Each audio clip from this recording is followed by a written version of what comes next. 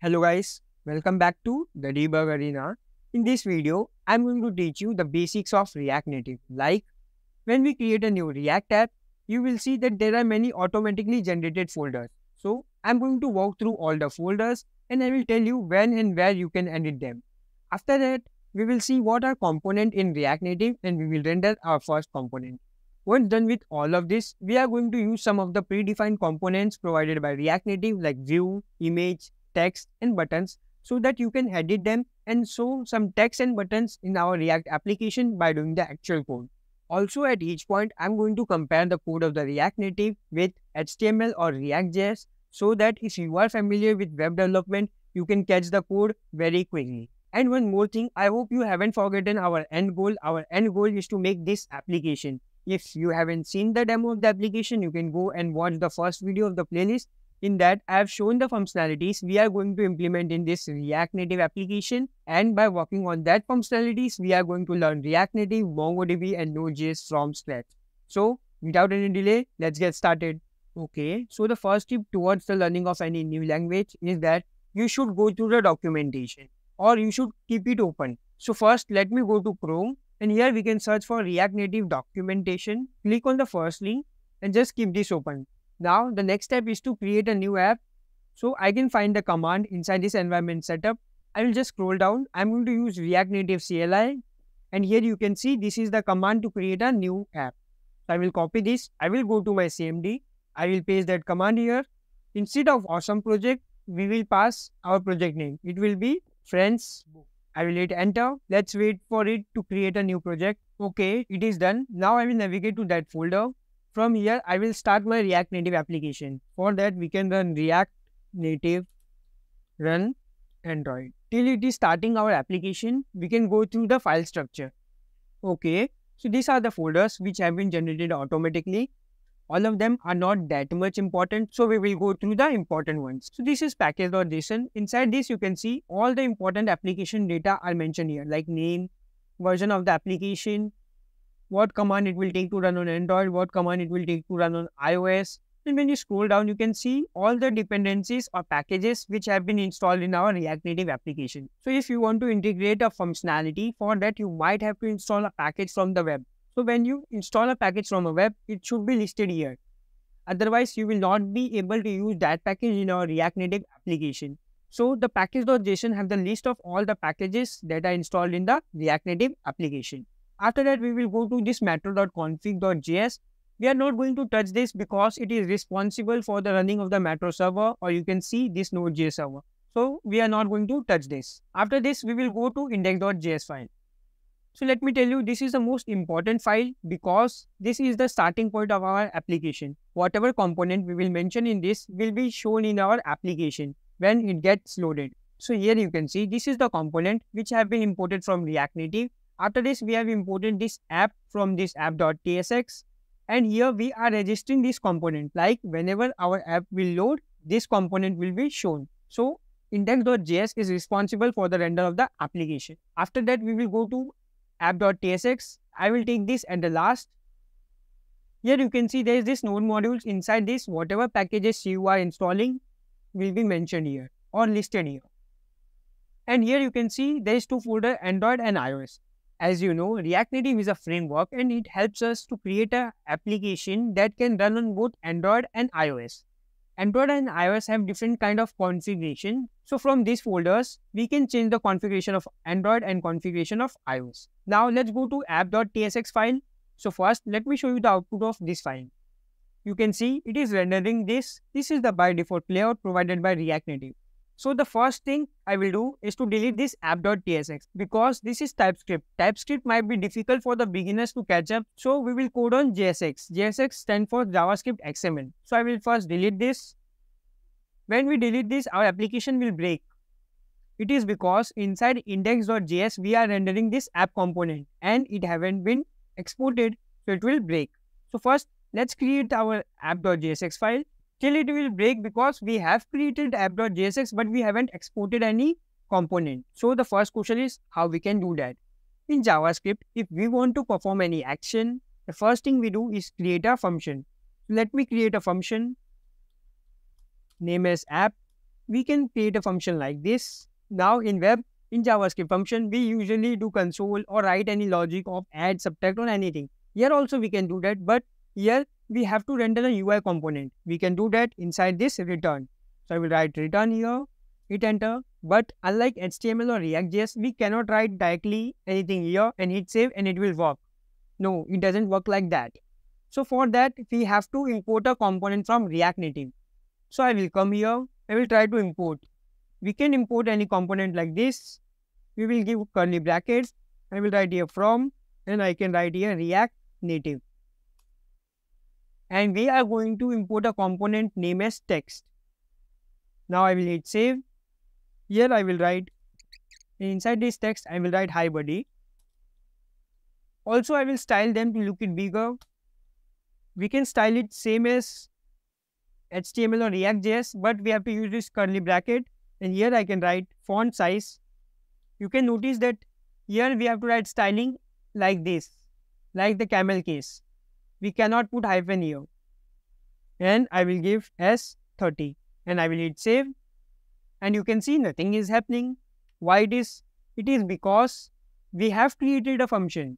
Inside a file, we can create a n number of function but which function our app will show that will decide the function which we will export.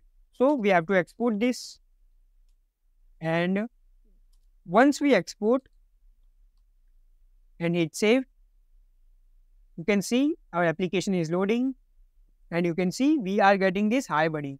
So we have rendered our first component. Okay, you can see I've called this text as a component. Inside index.js, I've called this app as a component. So what is component?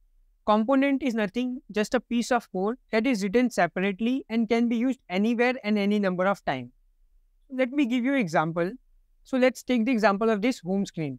Here you can treat this home screen as this app component. So first, let me note down all of the things visible here. Okay, so these are the things which are visible on home screen or you can say in our app component. But do you think all of them are written inside the same file? The answer is no. Like you can see, all the elements at the top, we can call them as a notification bar elements. So what we can do, I will create a new folder named as notification bar. Inside that, I will put all these elements. Then I will export that notification bar. And then inside the app, I will just call here notification bar. And what it will do, it will call all that element inside this notification bar. This is known as component. Like you are writing a piece of code for each block and using them in your parent element. By the use of component, you can make your code look clean. Okay, I hope you have understand the concept of component. Now let me delete this. Okay, before moving to the next component, do you know that this return will only return one element or one component? That is, currently I am returning this text. So it is working fine. What if I return another text? So I will copy this, paste it here and hit save. And you can see I'm getting the error. Adjacent JSX element must be wrapped in an enclosing tag. This means that return should have only one element and other element should be inside that. So in that case, to solve this error, we can wrap our element inside this empty tag. You can see like this and when I hit save, our error will be gone and it is working fine. But this is not the efficient way like here I cannot style this. So in that case, we can use another component provided by React Native that is View. View act as a container in React Native, same as div in HTML. So I will write here View. When I click here, it will already get imported. I will write here View and hit save. Nothing will happen, but this has created a container. So inside one view, you can have another view in which you can place some amount of element like this. Then you can have another view for other elements like this. So view act as a container and also it helps us to differentiate between the different elements of our screen. We can also style them. So I will write here style and inside this I will give padding as 30 pixel. Here we don't write 30 pixel, we write only 30 and when I hit save you can see hi body has been moved to left, right, top and bottom. So this is all about view. So here you can see I have provided this style inside the view component. This is known as props. Props are kind of attribute which are provided to the component to make them functionally better. So how do we know what are different type of props our component is accepting? So for that we have to go to documentation.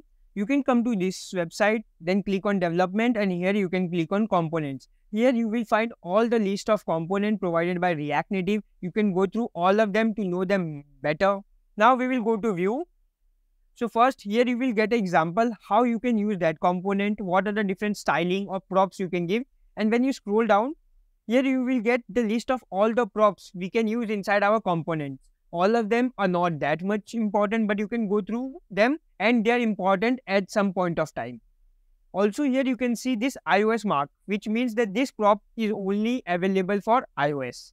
So this was it for view. Now let's use another component as button. So I will find button here and you can see here it is. I will click here and I will just copy this button. Here in, I will create a new view and inside that view I will copy that button and for now I am removing this style padding equal to 30. It is not looking good.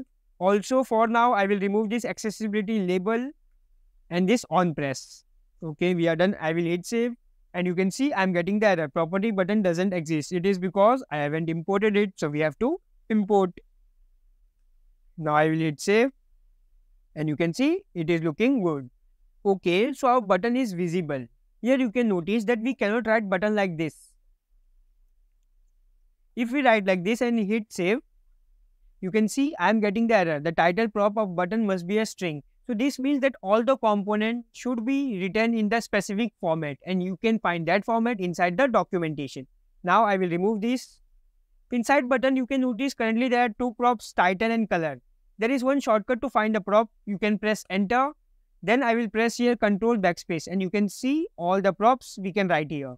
Now I'm going to write this on press. Inside on press we can also write this function like this. This is known as arrow function and here I will write log hi and I will just hit save. Okay, I have to remove this. I will hit save and when I click on learn more, nothing is happening. Let's see the console and here I am getting this hi. So in this way, you can go to the documentation, try to see different type of component and what are the props they are offering.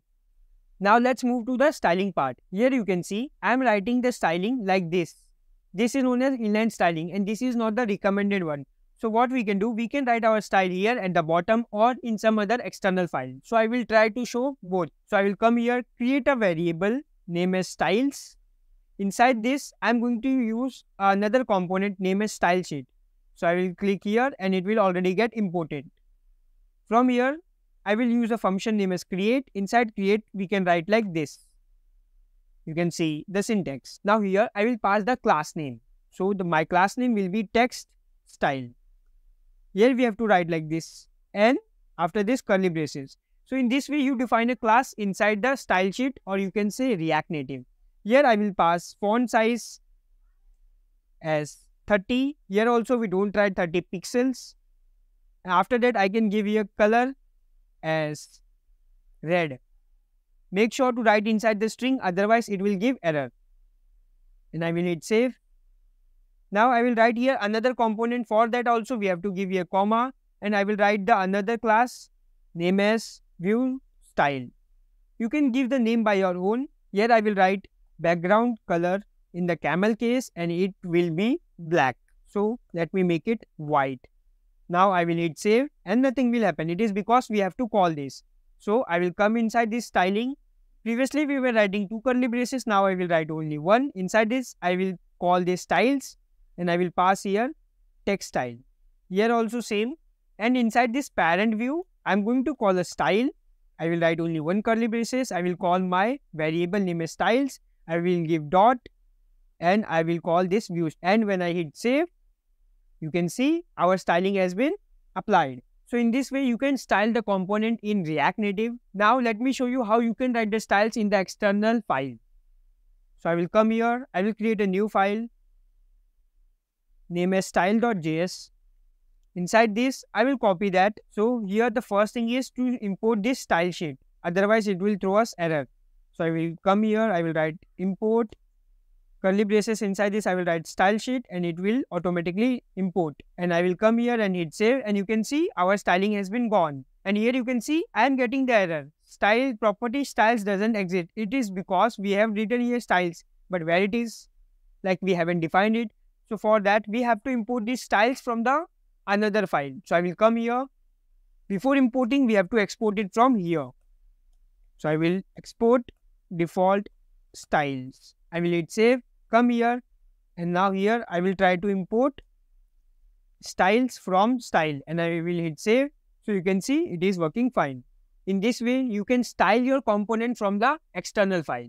That's it for the video. I hope you understand the basics of React Native, like how React Native works, what is index.js, what are the other files, what is component, how you can create a component, how you can use the previously defined component, how you can pass props to the component, and how you can see what are different type of component and props in documentation. Now, in the next video, we will see more components and also we will deep dive into the props of the component. So for that, hit the subscribe button, share this video with your friends and wait for next video. Thank you.